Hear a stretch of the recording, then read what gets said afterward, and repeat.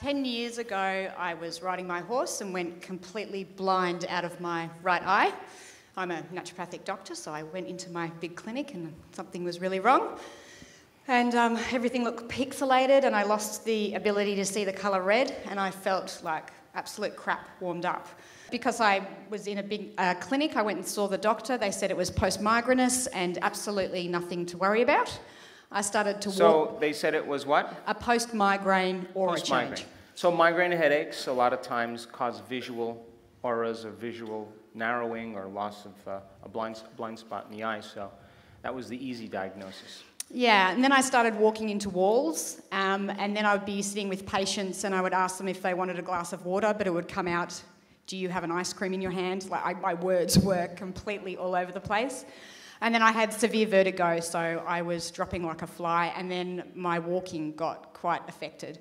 Um, but because I had an amazing group of practitioners working with me, I sat with my chiro and my osteo, and we thought it was probably likely to be multiple sclerosis. So So slow down, because this is an accent for these people. They're, they're struggling here. so let me see if I could reframe this for you. Sure. So she's having all these neurological conditions, yes? Can't see out of her eye, then she can't coordinate, she's walking into walls. Um, she, she's, she's physically uh, having neurological symptoms. And when they finally do the tests, they find out that she has multiple sclerosis, MS, which is a big diagnosis. And so, if you're having problems speaking like that, that kind of aphasia, that kind of loss of speech, usually means there's something in the language center of your brain, you know, like a stroke or a lesion. So that probably led them to do further diagnostics to determine if she had some more progressive condition, and the diagnosis was multiple sclerosis. Well, it didn't actually. It was the it was my the people my chiros that were like it was that. So I had to jump up and down to get an MRI. It took me a month to get anyone to take me seriously. And then I got a phone call. Oh yeah, you do have MS. well, she wound up with MS diagnosis. yeah. So um, being a naturopath, I decided to attack it matter to matter. So I refused to take the drugs. I was really stressed at the time. I had Australia's biggest natural therapies clinic and working banana hours. So I sold my natural therapies clinic, wound back uh, my private practice a little bit. And the matter to matter worked sort of because I did become a slightly different person, and that was pretty good for six years. I was trekking into Everest and doing a whole pile of things. And um, I met Dr. Joe in 2016, and I was not too bad when I saw you, but I was moving back into the same personality that created the MS, which is the crazy workaholic. Um, and not, and I started my meditations, and I worked on my career. And I, I never did any meditations about having MS. I didn't even look at my health. Everything I did was about furthering my career. I just, I find that so hilarious now. So I spent, and you know, that was great until I was working again 14 hours a day, seven days a week, like a crazy person. And in 2017, I was training to do a um, huge hike in um, Nepal up Mera Peak, and I was carrying a 25 kilo pack in Tasmania in the wilderness, and my walking went, and I started to have um, quite severe ataxia, so I couldn't walk further than maybe five minutes without looking like a complete drunk person. Um, so then I had a limp, then I lost bladder control, then I lost bowel control, then every time I rode my horse, when I would get off, I couldn't walk. And I let this go for probably eight weeks and ignored it. Until my chiropractor told me that um, potentially it was a medical emergency and I may have had something called cauda equina, and um, she convinced me to go into emergency. Um, at about the same time, Dr. Joe was due to come back out to Australia, and I'd promised Paula that I would help her out, and I got checked into hospital two weeks before. So I thought, I have to get out of hospital. So I spent two weeks in a hospital bed, and I hadn't had an MRI because I would sort of ignored everything, and they MRI'd me, and my Lesion load had gone from five in the brain and two in the spinal cord to 40 in the brain, 20 in the spinal cord with a 5% um, uh, communication going. I also had a slipped disc from a horse riding injury, and I had um, a, a, almost a, well, I had a partial um, compression and herniation on the disc. I had no feeling in my legs and numbness on my feet. All right, let me stop you right here. This is a common problem uh, with people in our community. They have symptoms, they have a diagnosis, they have some type of health uh, problem, and they deny it. And they hope that by not paying attention to it, they could push through it and get well. So they put their attention on their career, on something else, because they don't want to look at it, because then they have to stop everything that they're addicted to doing and address it. You understand what I'm talking about, yes? And, and it's, it's common because nobody really wants to look down that tunnel because it, once you acknowledge that you have a condition, then you know then you have you have all the beliefs that go along with it. So a lot of people just shut the door, and they just try to move through it and hope that it's going to go away. But with something like MS, you know, uh, the stress hormones accelerate uh, the lesions. So when you have all those lesions in the brain and in the in the spinal cord, uh, they're competing for space in the spinal cord, and so they start to occupy a lot of space, and like an hourglass, they start to compress the spinal cord, and now information that's traveling down that fiber optic cable from the brain down the spine through those spinal nerves, literally being compressed, and so the loss of neurological activity past that point is causing it to have loss of bladder control, loss of bowel control. She's having difficulty walking. There's a, there's a, a, a, a lack of communication between the brain and the body. And so when, with, with, when this happens with MS, uh, and you have that many lesions, in the normal situation, the diagnosis is that you'll ultimately be on steroids for the rest of your life and you'll be in a wheelchair. That's what they'll probably tell you uh, because the progression in a normal situation is usually just things just tend, tend to get worse. Go ahead. That's exactly right. I had the amount of guilt I had around being a naturopath and having MS was you have no idea. So I just put it over there and shelved it and it's focused not convenient. On, it's not. Yes, it was really inconvenient. I'm a super active mountain climbing, horse riding person, and MS didn't fit into my model of reality. So um, they told me again that I was super irresponsible and that I needed to go on drugs. And I decided that I would check myself out of the hospital and dragged myself across to the progressive. And that was the first time I ever did a meditation in the Tuning into New Potentials. I did a big H and started healing. First time ever. so um, from there, I did start to get a little bit better. I decided not to do any, like I say, medication. I meditated for four to six hours every day and really became aware of how addicted I was to the hormones of stress and some really heavy belief patterns about self worth. Um, then we did Cabo Dreamtime, and I got there. I almost had to have a wheelchair coming off the plane to that event, and it was hot, which, as anyone with MS knows, the heat slows down uh, neural activity. So I was dragging my body around at that event. Um, but I had a coherence healing. And okay, wait, let me just interrupt you here again. It's my party. In the first events follow-up that we did in Cabo San Lucas, it was the first Dreamtime event that we did. Now, nobody knew what was going on. I took a big chance, you know, because the moment you mess with people's sleep, you know, they're not the nicest people in the world. and so I had a lot of sincere people that had no idea what was about to happen, and I dropped the bomb that we were going to be going through the night. And the first night, you know, I was up, you know, I stay awake the whole time. I'm on the audio riser with uh, with the team back there, and I, it's 3 o'clock in the morning, and I say to those guys, I got to go for a walk. Like, what's wrong? I go, well, if where you place your attention is where you place your energy, they're throwing daggers at me. Because they're angry, and when you feel anger, who are you going to direct it towards? The guy you think is doing. So I was just like, oh my God, I got to get out of here.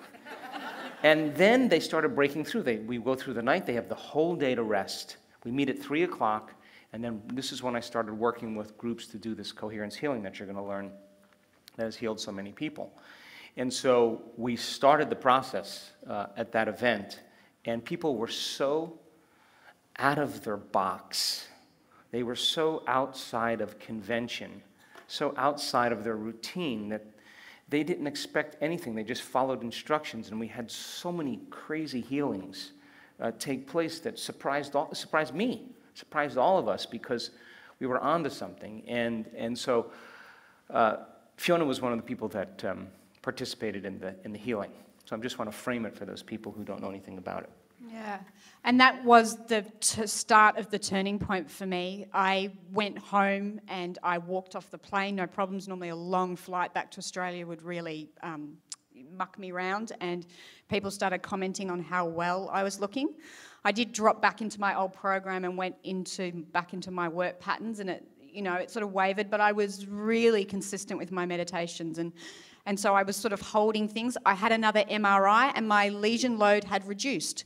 And my neurologist said, Oh, the medication's working. And I said, Yeah, I never took the medication. and bless him, he said, Well, whatever you're doing is working. I don't care what you're doing, keep doing it. They always say that now. Then we had Santa Fe, which is an amazing event. I was um, running the activity course and we were out like this all day, but it was the most humbling, beautiful experience. Anyone in Santa Fe watching you guys go through that and just watching people overcome themselves. And I just realized that I just had to pull my finger out of my and really overcome myself as well. Then we had Cancun. Um, and I had been progressively getting better and better. Um, you know, I could walk further without too much ataxia, but I was still running this really stressful company. I was still there was still some addiction to the hormones of stress. And then we got to Cancun, and Cancun was amazing. On the today, it was this day in Cancun, I was out watching you all do the walking meditation, and I was in tears. The, and it was the same thing this morning. Just watching you all do that, my heart burst open. Then we got into this meditation that we're about to do right now, and I lit up like a Christmas tree. I had so much energy coming through my body that at the end of the meditation, Dr. Joe was like, Everybody come back into the room, and I was on the floor convulsing like a, a crazy person. So I spent half an hour before I could get up. Then the next morning, we. You understand that's energy yeah. moving through her nervous system. You understand that, yes? And when the divine awakens in a person and energy starts to move through the nervous system, it, it, it finds blocks. It can't, if there's a block, it has to move through it. And so when it starts to move through those blocks, even in connective tissue, the body involuntarily is trying to process a frequency that's carrying information. So the body's trying to reorganize information, and we see this all the time. It's, um, it's, uh, you can control it, but why would you want to? Because you know that something unusual is happening, and you just have to keep surrendering to it. And she started surrendering to it more, and it got the more she surrendered to it, the more she relaxed into it, the more coherent it got. She wasn't resisting it. But she forgot to tell you that in Cancun, when she was a team leader, I bring the team leaders in before we start the event, and I have a nice talk with them, a very nice talk with them. And then they sit up and they do the breath, and I put them into a meditation and I watch. And she went for it 100% in that meditation, and she, she cracked. And as soon as I saw that, I thought, I thought, oh, she's going to have a great week. Then we did the pineal gland, or as us Australians like to say, pineal gland, meditation the next morning. And it, again, I was the breath, I was cracked wide open as soon as we laid down and we did the lying down breath. It was the second breath. I don't know how to explain it, but those four metabolites that come out of the pineal gland, five, five they do. They do everything that he talks about. I, my body was fast asleep. I couldn't move anything. I couldn't have an analytical thought. There was nothing, I couldn't make my brain do anything. I felt so in love with everything. I felt completely in this weird space. And then I opened my eyes, and this massive kaleidoscope came in front of me, and it wasn't a 2D thing, it was a 3D with lights and I'm fractal like, pattern. It was huge. It took up the whole room, and I was like, so I decided to surrender into it. I went straight through the middle of it, and where I was lying in the ballroom, the next thing I was lying in another spot in the ballroom, and I opened my eyes, and I could see this beautiful amber energy over me. And I knew straight away it was my coherence field. And I was like, because you can't have an analytical thought, I was like, oh, it's beautiful. And as soon as I said that, a hand came over the side of it and touched it, and it went wom, wom, wom, wom, wom, wom, wom, and it started to vibrate. And then I don't know how to describe it because I've never felt anything like it, but an electricity went through my body and I broke into cells, and everything vibrated for probably the rest of the meditation. I was able to get out of my body and walk around the room. I was following team leaders around. I could see everything that was going on, and then I was back in feeling the vibration. And then it, it was, uh, I, there's no words. It was amazing. Then we went and had breakfast and came back into the room, and Dr. Joe was on stage, and he does this to me. I'm like, and you said, you said your coherence field has changed. And I said, did someone tell you about my meditation? And he was like, I can see it, babe. I was like, oh, okay. So then we had the second pineal gland meditation, and this I had the same experience, but this time rather than my whole coherence field, I could see um, every single one of my energy centers, and I could see the coherence field in each energy center, and I had the same experience. And then when I got back from Cancun, I was after that. That was my thing. So I just plowed through about 15 books of I read all the master's teachings. I went through as much as I could. I was I gave her this. a reading list. Yeah, and I was dutiful. I I powered through the reading list. I was doing six hours a day, and I've had probably five or six more massive meditations like that. I had some really crazy stuff, and my health started to significantly jump at that stage. I quit my job. I, I have no idea what I'm doing. I quit my job, changed my relationships. I just, anything that I decided wasn't working for me, I just quit it. And I am in so the unknown. I have no idea what I'm doing anymore. I'm just turning up to wherever I need to be, and I'm so excited. Couple things here. Uh, number one, uh, she used to have a very noticeable gait. She dragged her left hip around. I watched her. She had a, a compromise in the way she walked with her legs, uh, uh, the way she looked with her eyes. Uh, and all of those physical things have disappeared for her. And if I'm going to encourage her to get an MRI just for the sake of science. I've got one after Brighton. After she's Brighton. Getting, she's yeah. getting one in November. It's a good scientific experiment, yes? yes. Number, point number two. Those pineal metabolites that I'm going to review with you tomorrow in detail, they're derivatives of melatonin, as I talked about, that will create very powerful, very powerful uh, healing agents, anti-cancer, anti-aging, anti-inflammatory, anti-neurodegenerative. Uh, those, those are the very elixirs that begin to switch on the immune system because MS is an immune-mediated condition.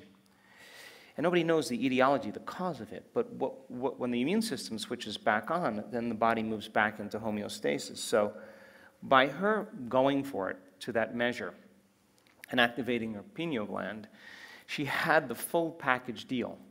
She had the, the uh, antioxidants, the upgraded versions of melatonin. She had the, the benzodiazepines, the Valium chemicals that anesthetize the analytical mind, so the neocortex shuts down.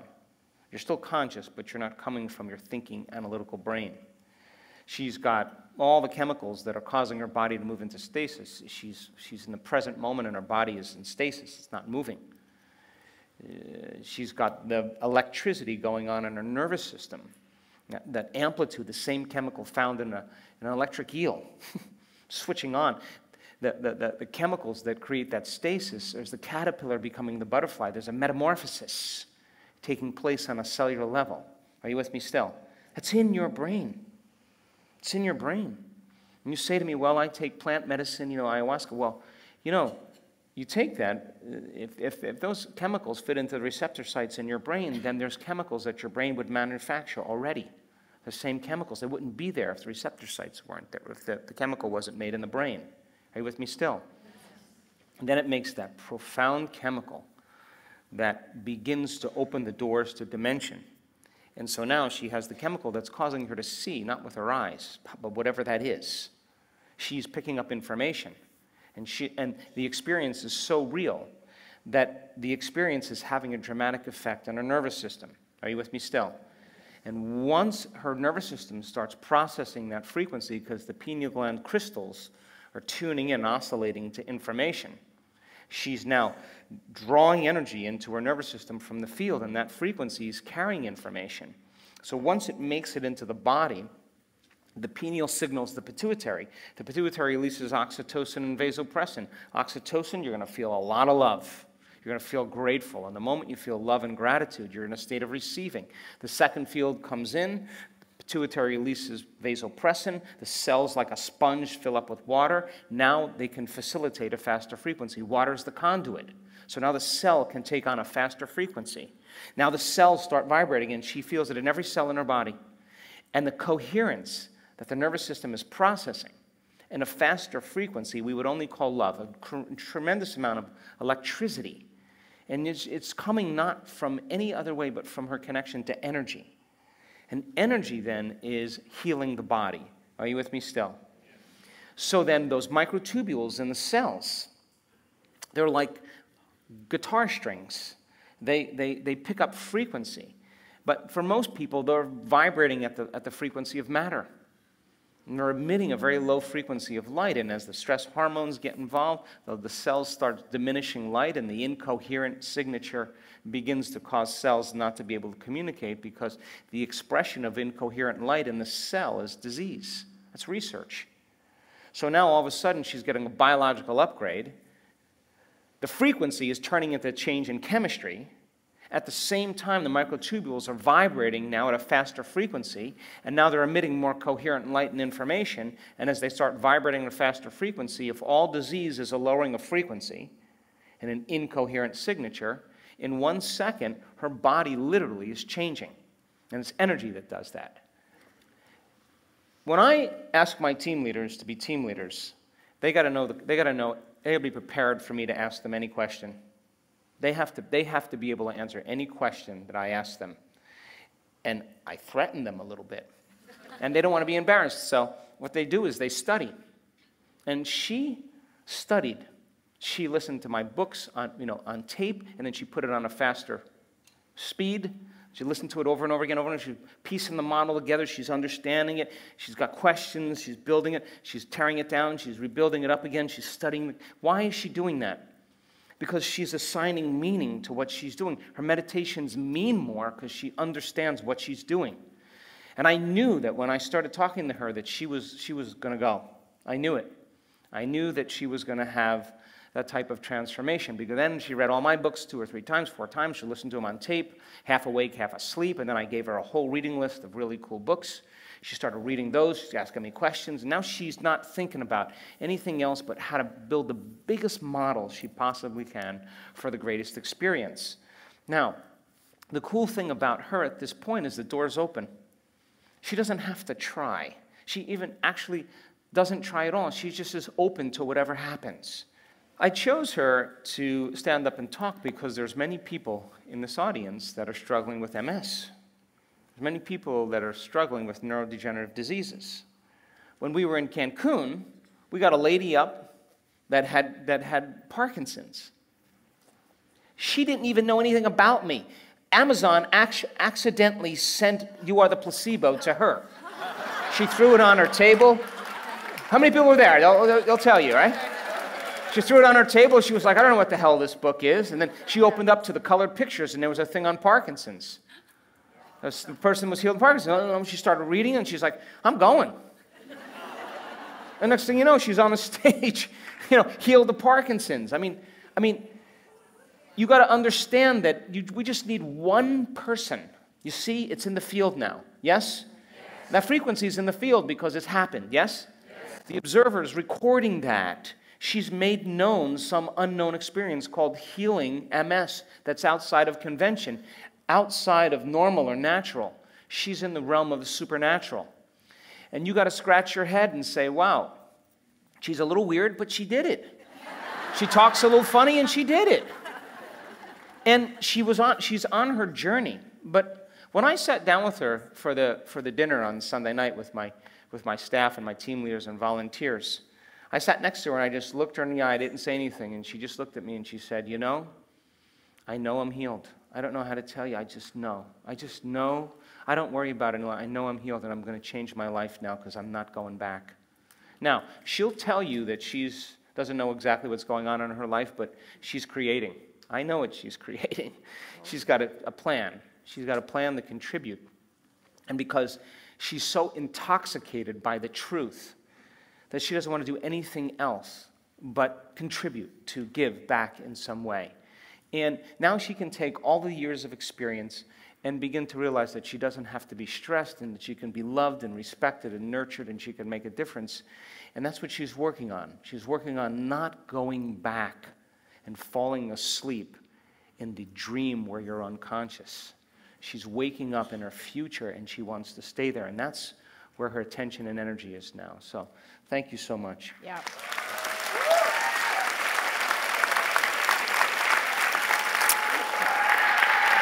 Thank you.